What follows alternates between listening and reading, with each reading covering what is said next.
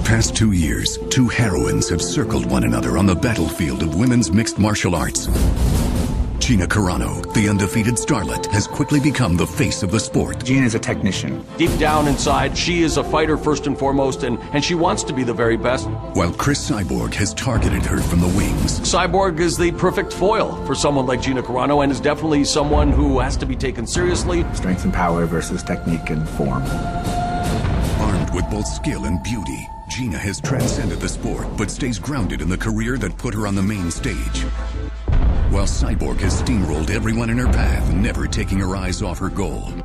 I've been waiting for a long time for this opportunity, and Gina doesn't have what it takes to stop me. She's got experience, she's well rounded, she's a brawler, just a bully type. Both superstars in their own right, these women have been on a collision course for a historic championship matchup. So on August 15th, it's the fight everyone's been waiting for. This is just gonna be a battle, I think. It's just gonna be a war. I'm gonna win by knockout, you'll see. And for the first time, a women's bout will headline a televised mixed martial arts event. You talk about groundbreaking. Uh, that's never happened before, where a female mixed martial arts fight headlines uh, a card featuring the guys. Gina Carano, Cris Cyborg. August 15th, only on Showtime.